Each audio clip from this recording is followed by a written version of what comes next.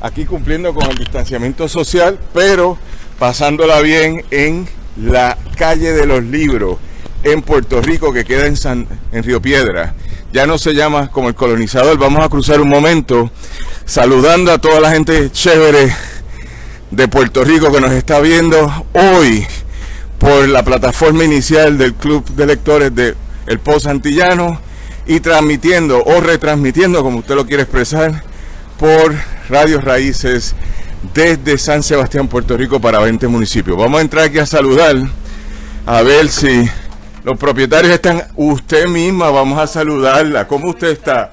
Para Radios Raíces y el Pozo Antillano, aquí está Reina Vega. ¿Cómo usted está? Yo bien, aquí anaquelando libros y tú. ¿Y cómo van las ventas hoy? Moviéndose bastante. Pues estamos aquí en La Mágica, saludamos a Reina Vega y cruzamos donde vamos a estar en el día de hoy en Librería Norberto González. Aquí, gracias Reina. ¿A qué hora llega la comida? Pues yo no sé, como dentro de una hora. Ah, pues entonces venimos ahorita a comer, gracias. Así que vamos a empezar con el Club de Lectores. Saludamos a Adrián Ciaca Pérez, quien está cargando la cámara aquí en Río Piedra, y a Robertito Rivera, allá en San Sebastián. También a Alejandra Alejandra Ortiz y a quien produjo esto y a Ramón Edwin Colón Prat. Pero aquí tenemos un prócer, sal prócer, un momentito. Él le encanta la cámara, nunca la he visto. Quítate el barbitúrico ese para que te vean tu sonrisa.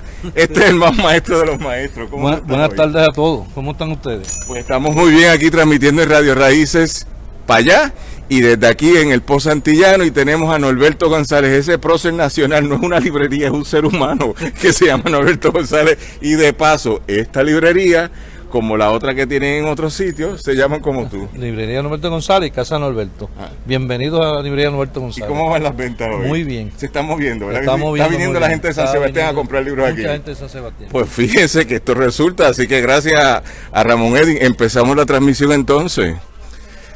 Muy buenas tardes, aquí con el poeta nacional, te he dado el estatus de poeta nacional, y el escritor laureado de crítica literaria Wilkin Roman Samot, y nuestro invitado en el día de hoy, el más mejor, dame 10, Irán Lozada Pérez. ¿Cómo estás, Irán? Muy bien, muy bien, muy agradecido de, de esta invitación. Qué chévere tenerte aquí, yo, yo lo sostengo. Hay que sostenerlo usted, sí. ¿Y estás contento? Muy contento que me llame con No, yo-. A ti yo siempre te llamo, tú sabes que yo te tengo presente. Y sobre todo sobre mi poesía, que es lo, lo menos conocido de mí. Eso es verdad, pero es una gran poesía. Aunque yo pueda tener diferencia en una gran poesía, porque usted es un gran escritor y los escritores son como, como una ola que cubren todo el terreno sobre el mar. Eso me quedó poético, ¿verdad? Sí, yo creo que ningún poeta tiene todo bueno. Eh, eh, eh, Concha Meléndez decía de la poesía de Luis Llorén Torres que era desigual. Eh, y, Pedreira dijo lo mismo, que la poesía de Luis Llorén Torres era- eran desiguales, no era, la calidad no era eh, igual en todas. De ahí se puede decir incluso de Miguel Hernández. Hay, hay poemas de Miguel Hernández que no son muy bien logrados y son los menos conocidos, obviamente. Por, lo menos, eh, gente que te seguimos, yo sé que Wilkin Román te sigue, que María Zamparelli te sigue. Cuando decimos somos escritores que seguimos tu obra, Marí Ramos Rosado te sigue, y tú sabes que yo no, ya no soy el único, fui, pero fui uno de los primeros escritores que hizo un, una revisión de tu trabajo literario, porque hay que decirlo siempre. Todo terreno quiere decir que se ha ganado todos los premios nacionales en todas las categorías, salvo poesía. Pero te di el título de poeta nacional, como escritor nacional que te lo ganaste hace muchos años. Pero sé que ahora Marí hizo un trabajo de tu obra, este que lo presentó en una conferencia y eso me parece muy encomiable, muy importante. África, ¿verdad? Fue en África, en Senegal o en Gabón. Pero eso empezamos. Hoy en el Club de Lectores, transmitiendo desde Librería Norberto González en el corazón de Río Piedra, en la Avenida de los Libros, porque le quitamos ya el nombre, ya no se llama como un colonizador que fue genocida. Estamos aquí para conversar sobre la obra del compañero Irán Lozada, el libro de poesía a manos de este escritor y crítico literario llamado Wilkin Roman Samot. Yo me quedo aquí de cuarto bate, pero tengo que decir, porque no hemos inventado, que estamos transmitiendo en vivo desde aquí a través de la plataforma del Post y retransmitiendo por Radio Raíces. Y este segmento lo que me toca a mí, que es distinto a lo que hace Robertito allá en la estación, es hablar de alguna serie de personas que nos van auspiciando de a poquito, pero que nos ayuda para sostener todo esto. Así que empezamos con las novelas del autor Irán Lozada, que se pueden adquirir aquí en Casa Norberto, en Librería Mágica y por Amazon. Entre las novelas destacadas, Premio Nacional de Novela, Premio Pen Club María Madiva, también Premio Nacional Pen Club, tú me corriges, Los Muertos se visten de blanco y la más reciente, Morir otra vez que es una novela mucho más breve sobre la guerra que le inserta al compañero Irán Lozada en la literatura, por decirle algo, guerrerista, no de a favor de la guerra, sino de la experiencia de los puertorriqueños en la guerra. Las primeras dos son premiadas por el Instituto de Literatura Puertorriqueña y una de ellas por el PEN de Puerto Rico. Así que vamos a continuar y le pasamos el batón aquí al compañero Wilkins Samot Roman. Wilkins Roman Samot. Irán eh, Lozada Pérez no es de los Pérez de, del oeste, es de, de Carolina. Creo que de San Lorenzo es mi madre. De San Lorenzo, por allá deben ser los Pérez. Aunque hay Pérez. Hay Por Pérez en todo- en todo el Por mundo. todo la- el archipiélago boricua. Y dicen que Pérez Pérez serán. Como Adán y Eva, sí.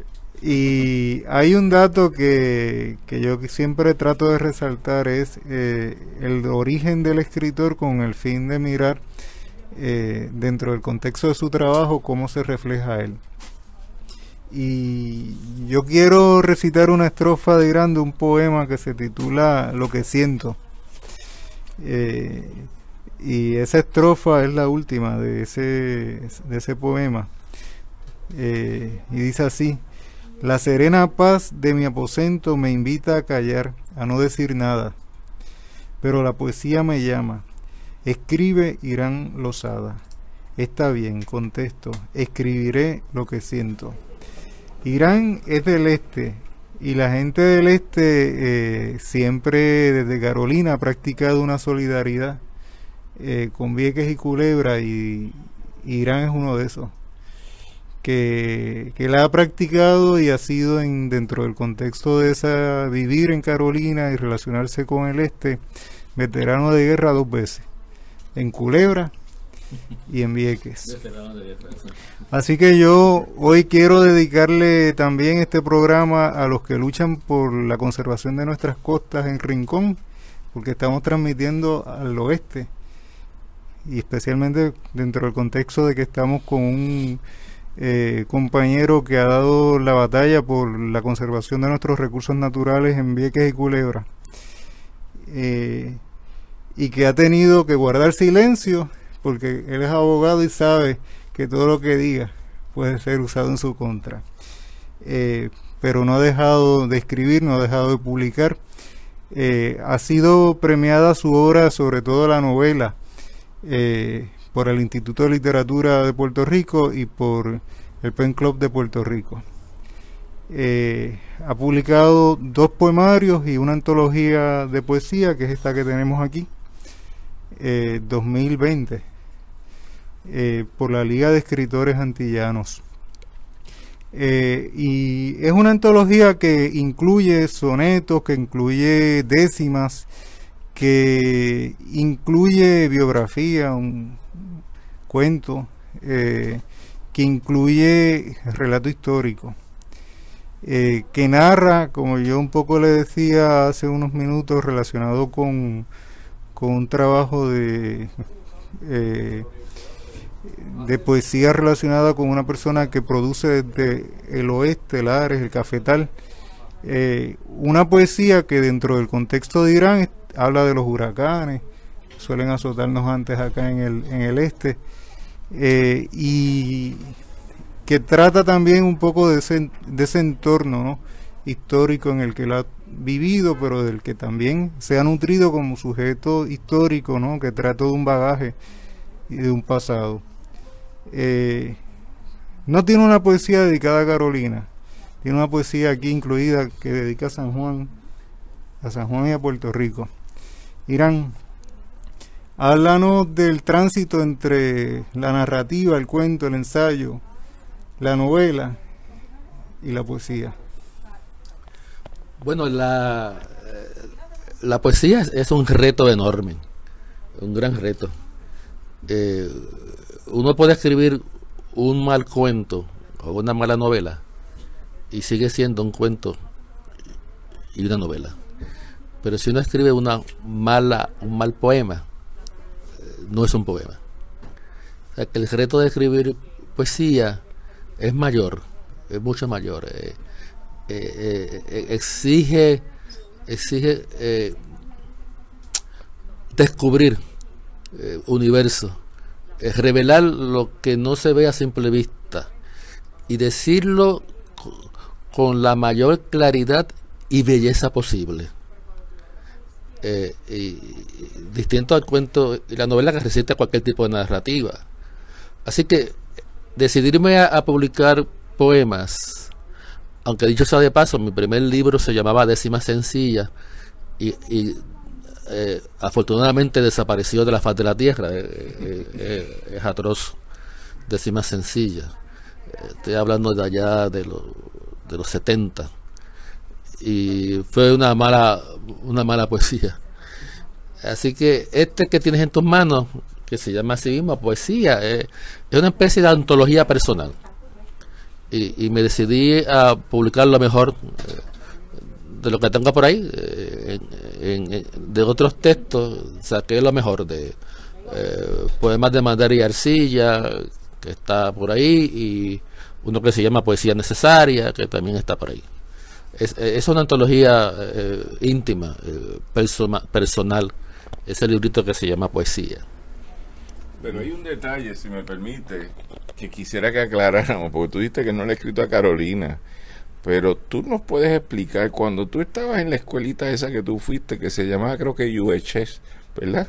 Tú corrígeme, y que fundaste un periodiquito de eso literario, tú me corriges, tú no le escribiste poemas a tu lugar de origen, tú me corriges, yo para saber. Este, eh, esa revista se llamaba Ecos. Y, eh, y recuerdo al profesor Adolfo Jiménez, que fue mi profesor de español, quien eh, era el, que nos, invitaba a, a escribir y, y a producir esas revistas, Ecos, Ecos Literarios se llamaba. Quedan por ahí algunas copias, de hecho hay un, libro escrito por Adolfo Jiménez, el profesor Jiménez, de la revista Jiménez Corregel. No, Jiménez Correger es, el, el hijo. El hijo de Adolfo Jiménez. Eh, el profesor Adolfo Jiménez, no recuerdo el segundo apellido, pero no es Correger. Eh, eh, eh, él fue nu- nuestro profesor que nos auspició y nos apoyó en esa publicación. No, no recuerdo haber escrito nada de Carolina. Este, aunque hay un poema que se llama eh, Nostalgia, que menciona a los amigos, eh, de la plaza eh, sobre ese, entorno. Este, no conservo copia de esa época. Allá, yo estudié en la High de la Universidad, Escuela Superior de la Universidad, entre el 65 y el 69. Y, y esa, esa revista está por ahí. De- de- Decía que el profesor Jiménez tiene un libro que se llama La historia de la literatura puertorriqueña a través de las revistas literarias y ahí se menciona esa, esa, esa publicación estudiantil. Permíteme para identificar, estamos aquí en el programa Cultura No, sino el Club de Lectores Sí, del Post Antillano, todos los sábados a las 2 de la tarde, originando en Río Piedras, en la calle de los libros, a partir de las plataformas del Post Antillano, por las redes sociales nuestras, Facebook en particular, y retransmitiendo por Radio Raíces desde San Sebastián. En el día de hoy tenemos de invitado al compañero escritor nacional, Irán Lozada Pérez, entrevistado por el escritor y crítico literario Wilkin Roman Samot. Este segmento es auspiciado por GF Media, Estrategia, Innovación y Producción, Agencia de Publicidad y Relaciones Públicas, al teléfono 787-644-4142.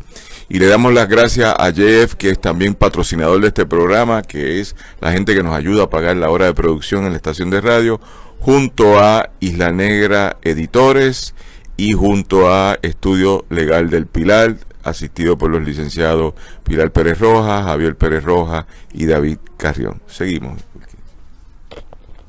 Él menciona un, un poemario que se llama Nostalgia y a mí inmediatamente me surgió la chispa de relacionar ese poemario con la novela más reciente de Irán, Morir otra vez.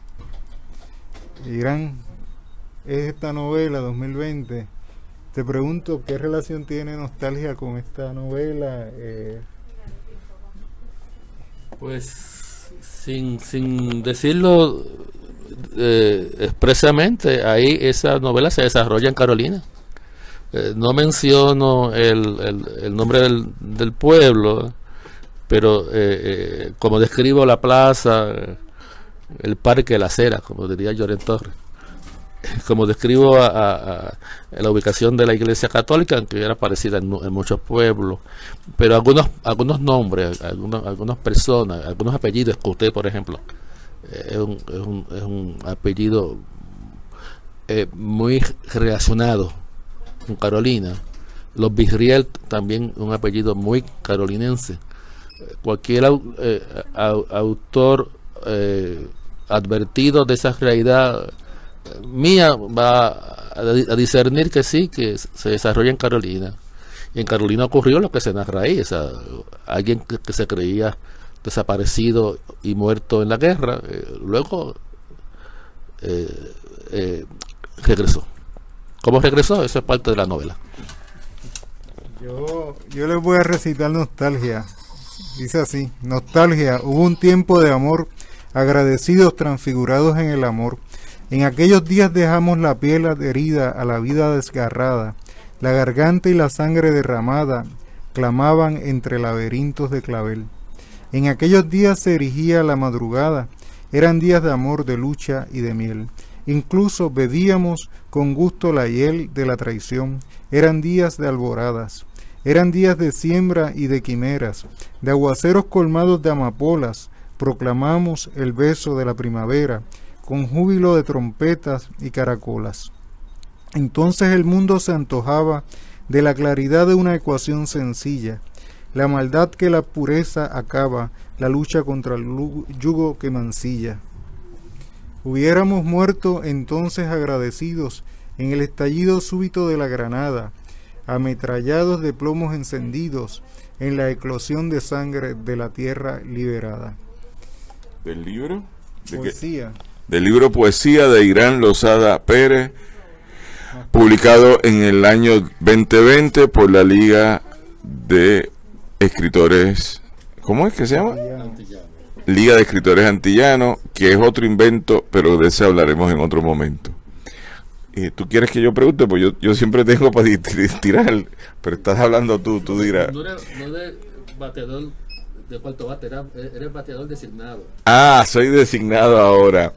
Es que yo, yo voy a hacer unas anécdotas de Irán. Primero, yo quiero mucho Irán. Tienen que saber todos en el país que Irán Lozada Pérez fue el primer abogado cuando yo me metí por primera vez en un lío y me representó en la Universidad de Puerto Rico. Habrá sido en el año mayo de 1984, cuando las huestes de otra fe no permitían que yo, como presidente del Consejo General de Estudiantes, hablara en los actos de graduación, lo cual era una tradición. Importante destacar que a Irán y a mí nos vinculan muchas cosas en esta vida, pero también que los dos fuimos presidentes del Consejo General de Estudiantes del recinto de Río Piedra. Segundo, llevamos el caso porque no me quieren dejar hablar, y eso es una historia muy bonita, esto y lo otro. Irán llevó el caso con Peter Ortiz, ¿te acuerdas? Cuando era el juez de recursos extraordinarios, y ganamos el caso y me dan cinco minutos para dar un discurso, lo cual las huestes de la otra fe no querían que yo lo hiciera y eventualmente tienen una orden judicial, yo tengo que hacerlo. Esos cinco minutos me permiten a mí darle un clavel rojo al presidente de la universidad, que era Ismael Almodóvar, y decirle, vamos a reconciliarnos, de eso trata la vida. A partir de ahí, lo que haya sido la vida. Pero él fue mi primer abogado. Así que yo tengo una relación muy bonita con Irán, pero ahora voy a contar lo que me permite ser que haya sido mi primer abogado y tengo una relación de amistad, es que yo voy a las fiestas privadas en su casa. Y en las fiestas privadas de su casa, Irán, más allá de ser papá, abuelo, tío, eh, eh, como es padrino de gente, están allí todos los Pérez, están todos los Lozada allí, porque los, podríamos hablar de los apellidos, pero eso hablamos en otro momento. Y de repente, usted uno está en una fiesta allí, Wilkin, y a viva voz, los hijos, los nietos y todos empiezan a decir, que lea, que lea, que lea. Y entonces él saca sus poemas, no necesariamente es esto o otro, y empieza a leer poesía. Oye, y me deslumbra, porque como poeta eh, que declama, eh, eso sí que es un éxito, eso es todo terreno meritorio de todos los premios. Así que yo creo que esa anécdota es bien bonita, porque como bien tú dijiste, Irán es combatiente de dos guerras, y ahí me voy a meter en las locuras de Wilkin, porque es verdad, en la guerra contra las fuerzas militares de Estados Unidos que las derrotamos en Culebra en el año 70, fue preso político seis meses, creo que fue, Tres meses Tres por meses. Culebra y cuatro meses por Vieques. y luego en Vieques vuelve unos años después, básicamente 30 años después, vuelve a caer preso, vuelve a estar en un periodo excesivamente prolongado porque a la gente le habían dado menos tiempo y a ti te dieron unos tiempos más largos, lo cual fue altamente punitivo, pero nos permitió que sacara una de las grandes novelas contemporáneas de Puerto Rico, y esto hay que decirlo, esa novela debe estar ya en 6.000, 7.000 libros vendidos, tú me puedes corregir, que se llama Los días de abril, que es una de las novelas más utilizadas a nivel de múltiples programas educativos en Puerto Rico, es una novela muy bonita que surge de la experiencia de Irán en la cárcel. Así que como combatiente, esas son las cosas como habla ahí eh, Wilkin, yo lo acepto como combatiente de dos guerras contra el imperio americano, sobreviviente de ambas, laureado por los días de abril, porque eso es un premio nacional. ¿Cómo tú ves la relación entre tu activismo social, porque nunca ha parado ese activismo social, que ahora estamos en LEA, Liga de Escritores Antillanos, que de eso podemos hablar más adelante, pero sobre todo lo que se tradujo en tu trabajo, con una familia que siempre te ha apoyado, y por eso es que, la anécdota es bonita, porque yo he estado en tu casa cuando te piden que leas poesía a viva voz y se para la fiesta y todo el mundo hace silencio y después lo aplauden. Bueno, la, la, la literatura, eh, la novela, el cuento, eh, eh, es producida en tiempos de ocio. Y, encontrar momentos de ocio eh, que uno pueda producir, escribir, eh, en estos tiempos es muy difícil. Eh, y esa experiencia de cuatro meses en la prisión, eh, condenado por el, el juez federal que hoy es miembro del circuito en Boston, primer circuito en Boston, Gustavo Gil me condenó a cuatro meses. Y como conocía que yo era abogado eh, en esa corte eh, y otros jueces me conocían, en esa época Casella, Pérez Jiménez, eh, él no me conocía, pero me dijo, you should know better. y me condenó a 120 días de cárcel, que fue el más cárcel condenado, siendo la primera vez que, en, el caso de Vieques eh, desobedecía la, la- la orden de no entrar a territorio de la Marina. Este, así que esa experiencia de Vieques, esa experiencia de, Culebra, eh, fue interesante y se relata en esa novela. Ahora, mencionaste algo muy interesante, un clave rojo al, eh, al, entonces eh, rector Ismael Almodóvar, quien conocí. Es curioso porque en los 80 se podía hablar de reconciliación. En los 70 no hablábamos de reconciliación. En los momentos álgidos de la lucha contra la Mari, contra, contra la, la, eh, Academia Militar, el ROTC, en el recinto no hablamos de reconciliación. Eh, cuando primera vez entramos a, a Culebra no hablamos de reconciliación, eran los años eh, terribles de, de Vietnam. Sin embargo, luego con, con ese tipo de gesto, de darle una, un clavel rojo a- al rector, eh, que fue nombrado con el objetivo y el propósito de eliminar todo tipo de, eh, resistencia y de protesta en el recinto de Río Piedra.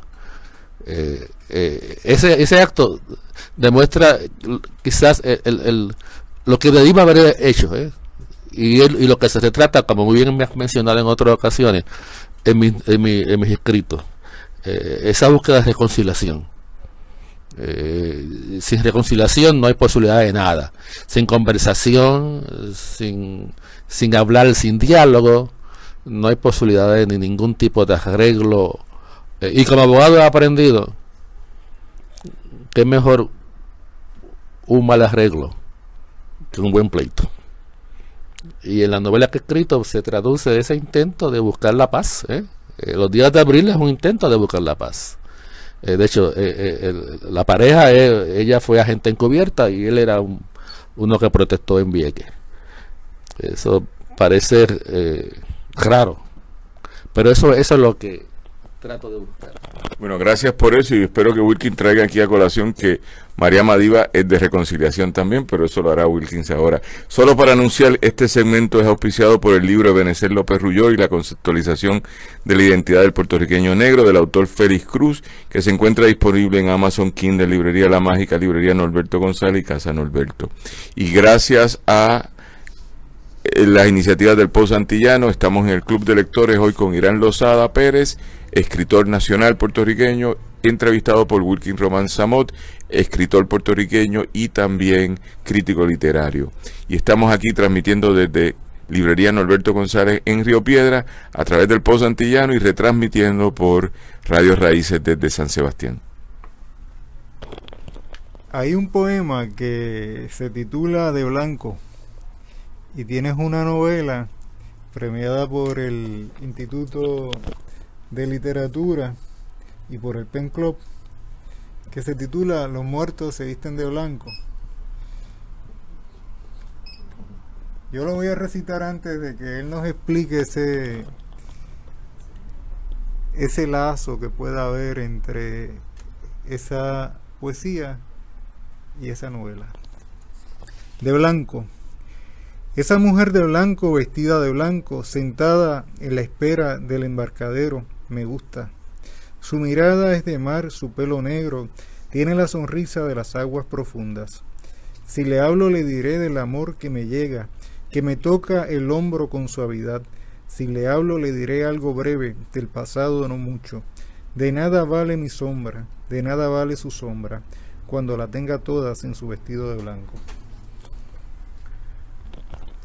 Bueno, esa, esa es de las pocas poemas que pretende ser eh, de amor. Pero también puedo ver tu, tu, tu interpretación de que es un, tipo de apari- aparición. Eh, mi abuela me decía que los muertos aparecían vestidos de blanco. Y en todas mis novelas aparece esa imagen. Los muertos vestidos de blanco. Eh, curiosamente, mi abuelo decía no solamente que los veía vestidos de blanco, también los veía eh, sentados en, en- en- sillones, eh, en mecedoras. Y, no es hasta mucho tiempo después que me pareció curioso, porque los muertos regresan no solamente con ropa blanca, sino también con sus propios muebles. Así que eso es obviamente muy interesante. hay dos o tres novelas ahí de, amor. Eh, la, poesía tiene un, un- un, eh, una cosa curiosa. En, la, en el cuento y en la novela, el autor puede evitar que sus valores y pensamientos y sentimientos eh, eh, eh, eh, se vean en los personajes. O sea, eh, uno puede evitar que se confunda el autor con el personaje. Eh, distinto a lo que alegan algunos sociólogos de la literatura que, quieren ver en todo personaje un reflejo del autor. Yo creo que eso no es cierto. Eh, yo puedo crear un personaje que no tiene nada que ver con mis valores y mis sentimientos o con mi sociología. Pero en cambio la poesía no. El poema siempre revela, siempre refleja, siempre traduce los valores, los sentimientos del autor. Si no, no sería poesía, sería otra cosa. Autor y poesía siempre van unidos. Es una simbiosis eh, eh, artística, simbólica, pero hay relación directa, distinta a los otros géneros. Yo, yo hace poco entrevisté una, una poeta, un poeta, eh, y me decía que, que no fue que se inspiró, sino que se sentó a escribir un libro de poesía. Eh, no es que recibió una señal, sino que se sentó a escribir un libro de poesía. Eh, y creo que me estás diciendo lo contrario. Este, Bueno, estamos cerca, estamos cerca, eh, no muy lejos, porque eh, escribir significa disciplina y voluntad. Sobre todo mucha voluntad, mucha voluntad. Hay que sentarse, hay que sentarse. En algún lugar eh, leí que Borges eh, dijo de sí mismo que era muy holgazán para escribir novelas. Por eso escribía cuentos y, grandes sonetos. Claro, es una broma de, de Borges, pero sin embargo sí, es cierto en términos de que, de que se puede, sin ningún tipo de inspiración o musa, ese tipo de, esa visión angelical del poema, eh, mítico, mitológico si quieres, pues no necesariamente es cierto, sí, este, una persona que conozca de literatura, que conozca de, lo, de, lo, de, de lo- de los recursos poéticos, eh, puede sentarse y escribir una gran poesía eh, sin tener eso que se llama inspiración.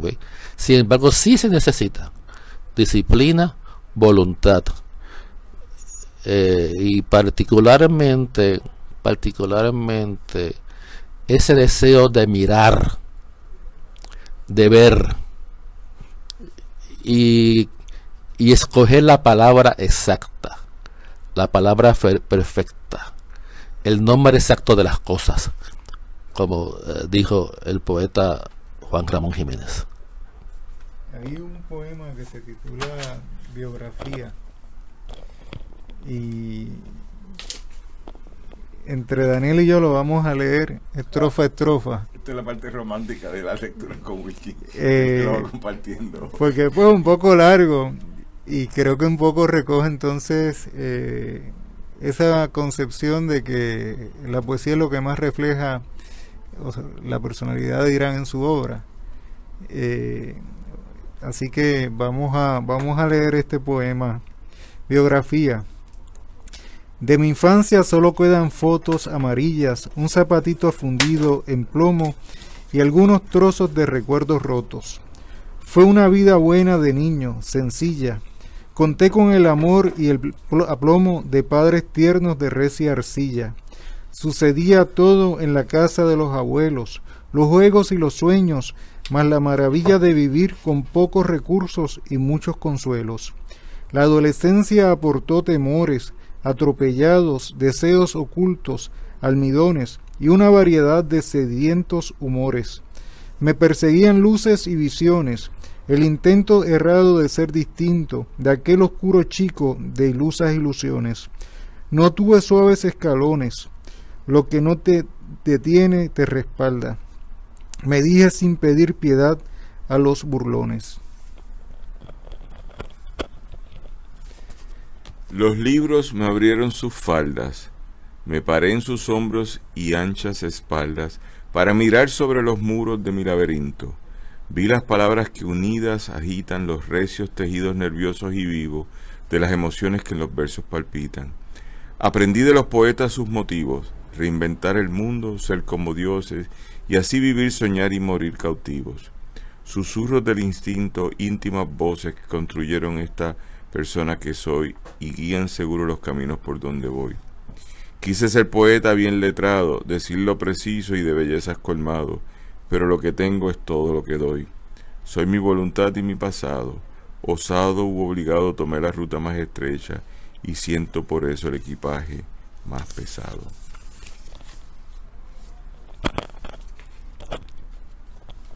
Pero estuve, opuse alguna resistencia a las sinrazones, mas luego supe que mal hecha la justicia se limita a grados medidos de paciencia.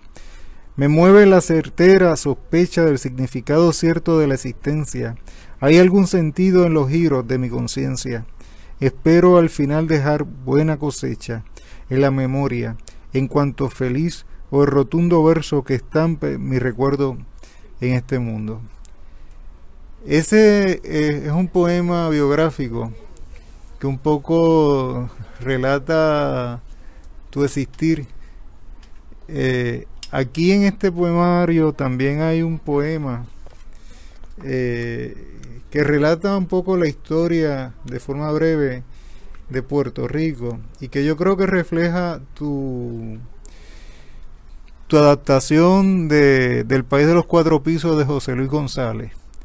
Háblanos de, de ese Caribe que de una forma u otra tú nos describes eh, y de cómo se vincula tu biografía como caribeño, como puertorriqueño, como hombre oriundo de Carolina.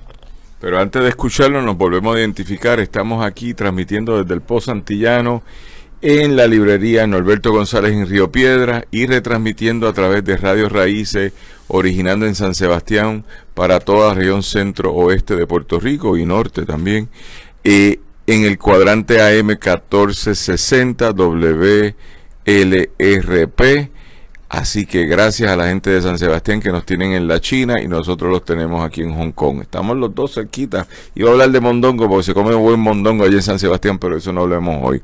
Así que estamos con el compañero Irán Lozada Pérez, escritor nacional, entrevistado por el escritor y crítico literario Wilkins Román Samot. Y este segmento es auspiciado por el libro El ABC del Movimiento Obrero del escritor, amigo y doctor Ebenezer López Rullor, el cual se encuentra disponible en Amazon, Kindle, Librería Mágica, Librería Norberto González y Casa Norberto. Seguimos, Irán, para que le contestes a Wilkins. Sí, Wilkins, este maravilloso Caribe está en toda mi obra. En el Caribe se reinventó la humanidad. En Caribe se inventó el mestizaje. No hubo ningún otro rincón en el mundo donde ha, haya habido tanto mestizaje, tanta mezcla de gente, de sangres, de genes, como en el Caribe. Aquí hubo de todo, de todo. Eh, eh, mencióname alguna que aquí no estuvo, raza o genotipo o, o etnia, eh, como quieras decirlo, este, franceses, españoles, caribeños, eh, indios norteamericanos, indios suramericanos, japoneses, chinos. Aquí estuvo todo el mundo cruzándose. Aquí todo el mundo abrió los vientres para fecundar, fecundarse y, y crear esta, esta, esta, esta raza o esta, es- esta raza iberoamérica, como la como decía don Pedro Albizu Campo. Así que sí, que, que ese poema de brevísima historia de las islas de Puerto Rico, sí, habla de, habla del Caribe. Ese Caribe eh, eh, eh, que, que hoy pasa de todo. Pasa de todo y tiene, eh, tiene la curiosa eh, eh, situación que como, como dijo Porfirio Díaz de México, eh, lejos de Dios y muy cerca de Estados Unidos. Eh, eh, gran parte de lo que nos pasa es porque aquí vinieron también todos los imperios, vinieron aquí. Y el actual imperio norteamericano no tiene ninguna intención, ninguna intención, porque le encuentra su talón de Aquiles, su punto más vulnerable, que es el Caribe para Estados Unidos, según la historia de Estados Unidos.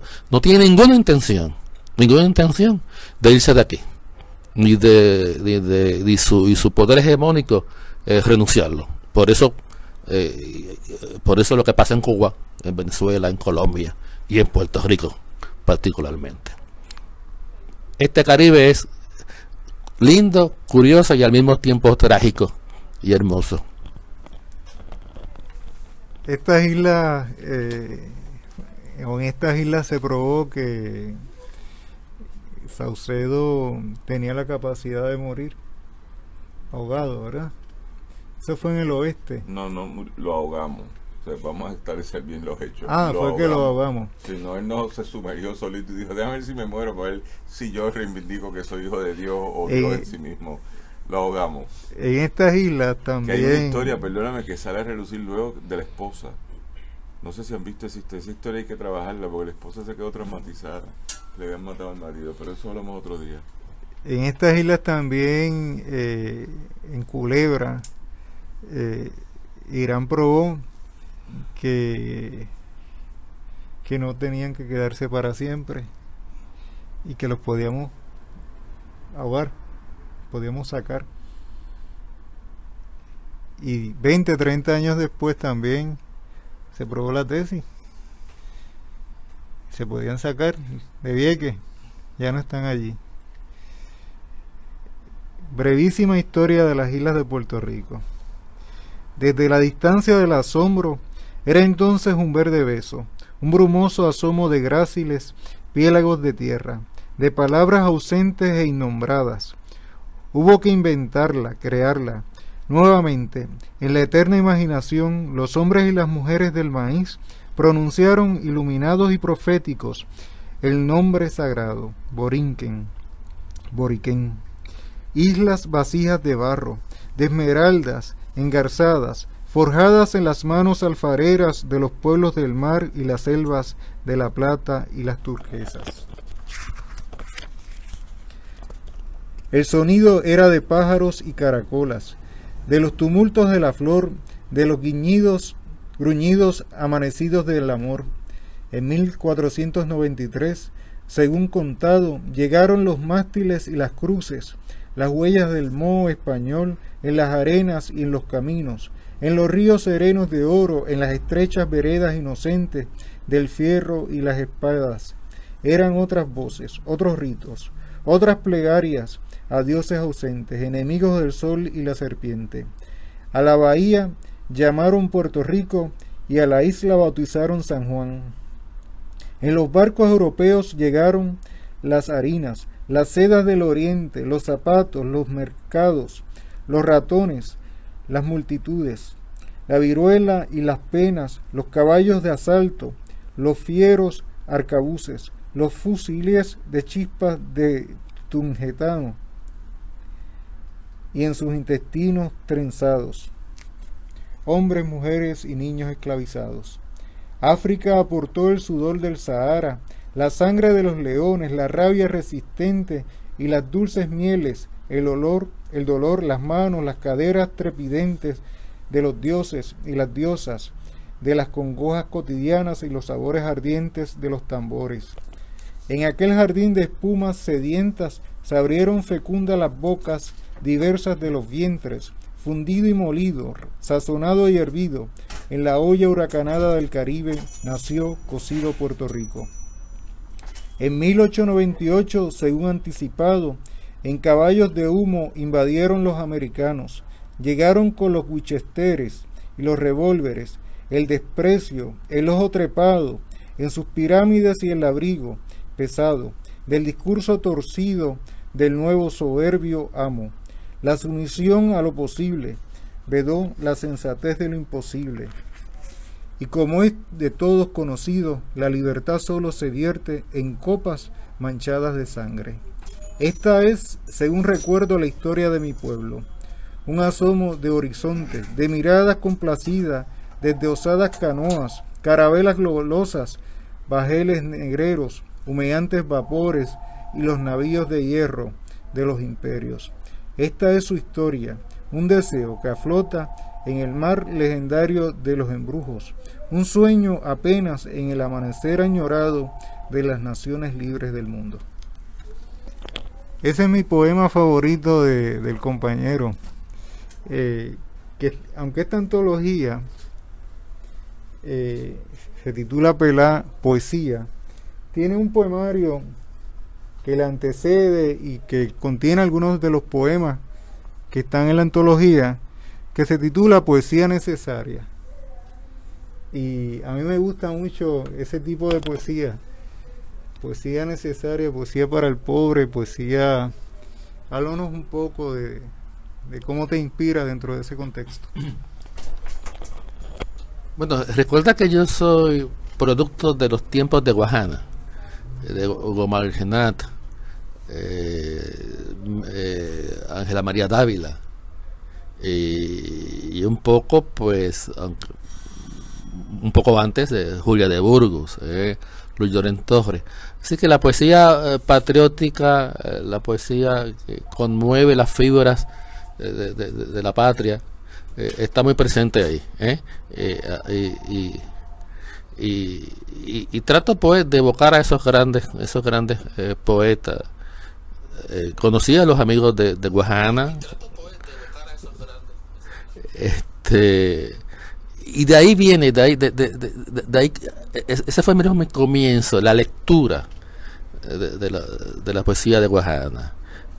Y claro, y mucho antes de Diego, eh, cosas de Diego, eh, Luis Torres, este, ese, ese, esa, eh, lo que llamaríamos eh, la poesía canónica, ¿verdad? Eh, los grandes que, recordamos constantemente, quizás demasiado, ya es hora de empezar a buscar, y gracias a ustedes, los nuevos poetas. ¿eh?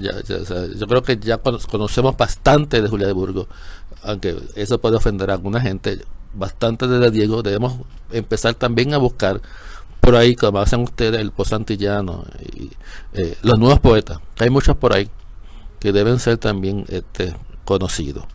De, ahí viene, de ese bagaje histórico poético es que viene mi poesía, ¿eh?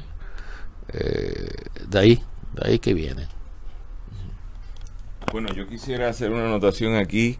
Antes que nada, saludar a toda la gente que nos saluda. Ju- Juan Rubén Cuadrado Ortiz, saludo. A José Ravelo, a Michael González, todos nos están saludando. Michael, gracias por las palabras que das sobre Irán eh, Lozada y a nuestro amigo común Wilkin Román Samot. Eh, Lucía, gracias por tus palabras también.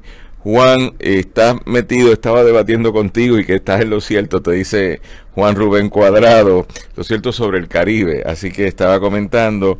Y Ravelo pregunta, que lo dejo en suspenso, Ravelo pregunta si el país de los cuatro pisos tiene aún vigencia a la luz de lo que tú estás hablando.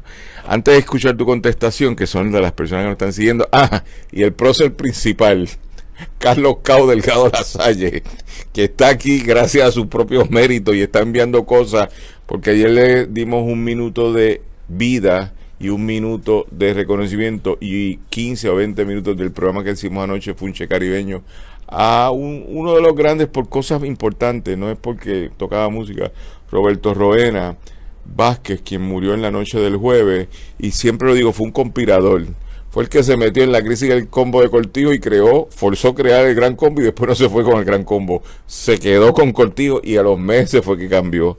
Luego, cuando, tocando para la Fania, se inventó el Puerto Rico All Star para tumbarle el kiosco a la Fania, idea de, él. Y también logró que Andy Montañez consiguiera trabajo en Venezuela. Esas fueron ideas que hizo Roberto Roena. Pero ayer los Ramos y Cao está hablando de aquí también que te celebra, pero que recordemos en este momento a Roberto Roena, porque ese sí que era otro caribeño.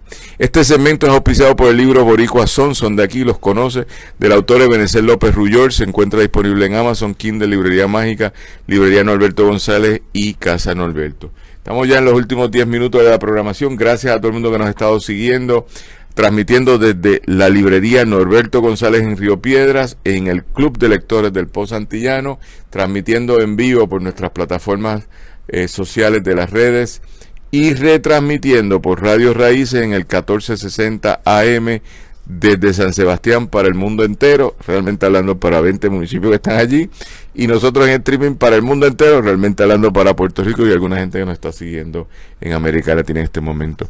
Así que teníamos, no sé si quieres reaccionar sobre el cuarto piso de la pregunta del compañero escritor, escritor nacional también, José Ravelo. Eh, Ravelo, esa es una pregunta que no puede ser contestada en dos o tres minutos. Eh, requiere un análisis profundo. Eh, eh, yo tengo dudas de que ya la sociología marxista explique muchos de los fenómenos de Puerto Rico. Y ese libro es producto de una época en que el materialismo histórico dominaba todo el pensamiento académico universitario. Ahora hay otras, otras visiones postmodernistas, eh, los orientalistas, eh, que podrían eh, mirar de otra forma, otras miradas al, país de los cuatro pisos. Sin embargo, eh, fue valioso y es valioso, sigue siendo valioso. Aquellos análisis de Manuel Maldonado Denis, José Luis González, y todos aquellos autores de esa época. De, de- los años 70, donde cuando comienza la nueva historia de Puerto Rico. Eh, es valioso, puede ser revisado a la luz de otras tendencias de, visión de la historia, pero eso requiere un curso universitario de seis meses por lo menos. o un poema como, como Génesis. Y ese yo no lo voy a leer ni Daniel. Ah, yo te iba a cantar, porque si tiene que ver con la canción de Luz Estel Benítez, yo puedo cantar Cuando no hay en la tierra. Sigue. Ese poema sobre el origen eh, le toca le toca leerlo al compañero, que yo creo que es el que puede explicar Yo mucho. no sé si yo tengo buena vista. Yo siempre, yo, yo soy originario de esa zona de, de Isabela. Nací en Mayagüez, pero me crié en Isabela. Y, lo que decía Irán de, que en este país llegó todo el mundo. Allí llegaron franceses, los Peyot son de esa zona. De Isabela, Moca, donde está la emisora que está retransmitiendo Ra- Radio Raíces, curiosamente. Ahí están mis raíces, por esa zona están, yo creo que las raíces de todos nosotros. Allí hay mucho Pérez esos Pérez que serán y no de los que perecerán. Eh, y así que ahí tenemos un poemario que un poco recoge la visión eh, de cómo se origina el país, de cómo se origina el mundo desde el, el punto de vista de Irán. Bien, antes de pasar, Irán, corrijo, la pregunta no era de Ravelo, pero está bien, el Ravelo se llevó los 30 segundos de gloria. La pregunta era de Rubén, Juan Rubén Cuadrado Ortiz, perdónanos, Juan Rubén, esa y muchas más, pero está en récord que la pregunta sobre el país de los cuatro pisos era tuya. También saludamos a la compañera Carmen M. Melende, que yo leo inicialmente, dice saludo desde Guyana. Y dije, mira, estamos en Guyana, es Guayama. Pero igual da Carmen Melende, ¿entiendes? Guyana, Guayama, estamos en el Caribe. Dame, nos lee Génesis, Irán. Bueno, déjame ver si puedo leerlo bien. Este, sí, olvidé ahorita mencionar a los corsos, a los franceses que estuvieron aquí y que, y que inclusive en el grito de Lares hu- hubo franceses, aquel Carlos Lacroix o Lacroix eh, y hubo corsos que participaron en el grito de Lares, ¿verdad? Y venezolanos como el- uno de sus líderes principales. Ok, el poema Génesis es el que da comienzo a, este pequeño libro y dice así. Fue apenas un destello. Y tienes que leerlo tú, que yo mi, vista no, ya yo tengo, ya yo tengo, ya yo tengo, llevo mucho tiempo por ahí y mi vista no es la de, la de siempre. Bueno, tienes una asignación de buscar el, el apellido, mi segundo apellido en el Génesis bíblico. Es de esa zona también que mencionaba. Génesis. Fue apenas un destello imperceptible, fugaz, menos que luz, sombra sin cuerpo, ni siquiera el polvo transmutado. Era el principio, el temblor primordial de la membrana, sin color, sin forma, sin la voluntad conocida, pero presente, sus latidos sordos, luego el murmullo que adivina la palabra. Esordio de voz primera en el silencio cósmico, de en la noche cansada de eternidad y de vacío. Bastó la flor abierta de los labios, bastó la sospecha de la materia, se hizo la luz.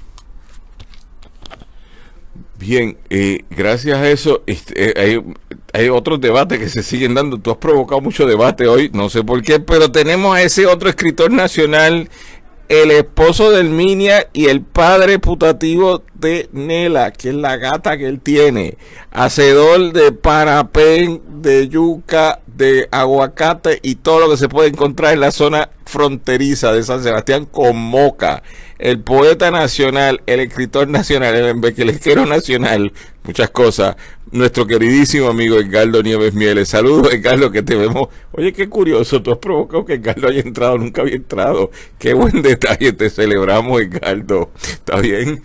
Si no quieres mandarle saludos. Saluda a Galdo, eh, Mieles. eh, el segundo apellido es Mieles. el- el- Sí, sí, Nieves Mieles. Nieves Mieles, sí. Saludos, sí, yo lo, lo- eh, coincidimos mucho en estas librerías, él y yo, con frecuencia, sí. Qué bien. Bueno, antes de pasar a los últimos cinco minutos, quisiéramos decir que este segmento es auspiciado por Wilber López Moreno, abogado en casos de quiebra. Lo pueden contactar al 787-390-0584 o visite su página Consejo de Quiebra PR en Facebook. Wilber López Moreno al 787-390-0584, abogado especializado en quiebra. ¿Y qué nos queda, Wilkins? Ese, ese poema Génesis a mí me, me trajo un poco la poesía de Ernesto Cardenal, Cántico Cósmico. Eh, háblanos un poco de, tu concepción de materialista y del origen de la divinidad de, de las cosas. Eh, Wow. Este, eso ha sido mi constante y perenne preocupación. ¿Qué hay más allá? De dónde venimos, hacia dónde vamos. Y e- e- es, difícil decirlo. Eh, claro, a mí mi primera lectura fue la Biblia, como muchos, como muchos. Mm. ¿Empezaste por el Génesis o el Apocalipsis? Eh, empecé por el Génesis, en el, eh, en el principio. Y eso es hermosísimo. Yo creo que la poesía más bella, o por lo menos una de las poesías más bellas, está en la Biblia. No solamente en el Génesis, también el Cantar de los Cantares. Yo creo que ningún poeta, ni siquiera Neruda, iguala el erotismo, la belleza eh, erótica del Cantar de los Cantares. Aunque los teólogos dicen que es eh, la unión entre Dios y el Espíritu, no, eso es la unión de dos cuerpos, punto. El, el- cantar de los cantares.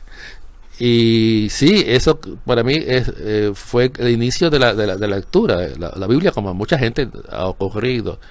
Este, yo cada día sé menos de lo que de, las cuestiones teológicas, eh, de las cuestiones cósmicas, eh, del espiritismo. Vengo de una familia espiritista donde los muertos caminaban y deambulaban por mi casa.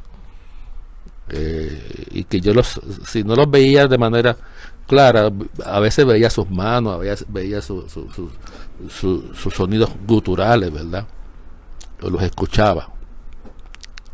Este, y está ahí esa visión epistemológica, eh, eh, esa visión teológica está, está ahí, sobre todo en el Génesis, ¿verdad? Eh, el inicio de todo. Y, y yo creo que de ahí alrededor de eso está todo, ¿verdad? Eh, la materia, la energía. ¿Qué pasará con nuestra energía? Yo, yo eh, aspiro a que sea eterna. Ah, temo que puede ser aburrida, pero eh, si fuese eterna, pero por lo menos aspiro a ir más allá de, de esta conciencia en este momento. Bueno, con ese relato que es de metafísica, no es materialista, eso es metafísica, pero de eso podríamos hablar porque es que me citaste ahorita el materialismo histórico y conseguir a alguien que me cite el materialismo histórico es siempre como un wow. Este último segmento fue auspiciado por el libro de nuestra queridísima amiga, amiga común de todos aquí, de esa no es poeta, esa es novelista nacional, escritora nacional, la compañera María Zamparelli, el libro Los infortunios de Fátima Moniz, que es Premio Nacional del PEN Club y es Premio Nacional del Instituto Puertorriqueño de, Lo- de, de Loíza de Literatura en el 2020. Ganó ambos premios en esta temporada y es una gran escritora y es nuestra amiga que se encuentra disponible en Librería Mágica, en Norberto González, en Librería Laberinto, en La Casita en Audilla y en El Candil en Ponce o con la escritora al 787-360-6106, lo cual lo enviará autografiado si se lo compra. Gente, tenemos que llegar a un final porque estamos en radio, hemos estado transmitiendo, son las 3, le damos las gracias en los controles aquí en San Juan a Adrián Siaca Pérez, a la producción de contenido de la organización de este programa Alejandra Ortiz Arraiza, al POS Antillano que es el, el ente precursor de estos clubes de lectores todos los sábados, sexta temporada, estamos en el episodio número 5 de esta sexta temporada. Nos quedan 10 episodios hasta diciembre y lo hemos pasado súper bien. Y hoy hemos estado con un queridísimo amigo que es todoterreno, pero es un escritor nacional, Irán Lozada Pérez. En San Sebastián le damos las gracias a Robertito Rivera en los controles y al prócer nacional Ramón Edwin Colón Prat y a su familia. Esperamos que su nietecito se mejore, que está un poquito malito de salud allá en Estados Unidos. Y le damos las gracias por la, por la posibilidad que nos han dado a nosotros en el Pozo Antillano de extendernos a la radio y hacer estos embelecos. Y a este muchacho que tengo al lado, que siempre dice que sí, que ha hecho biografía de todo el mundo en el país, el compañero Wilkin Román Samot, escritor en propio derecho y crítico literario, uno de los más destacados que tenemos en esta generación, le damos las gracias. Será hasta entonces, volveremos el próximo sábado a las 2 de la tarde aquí en el Club de Lectores en la Avenida de los Libros en Río Piedra. Ya le quitamos el nombre de ese infastuoso genocida llamado como se llame. Será hasta entonces. Mi nombre es Daniel Nina. Ha sido un placer estar con ustedes. Nos seguimos viendo en toda la programación del Post Antillano. Mañana como hoy, el Post Antillano que cumplimos 10 años el próximo martes de estar saliendo ininterrumpidamente con un periódico diario digital. Y el lunes a las 6 tenemos Cultura 7D todos los lunes a las 6 y el viernes a las 6 de la tarde tenemos Funche Caribeño. Luego volvemos el sábado a las 2 de la tarde. Será hasta entonces. Muchas gracias.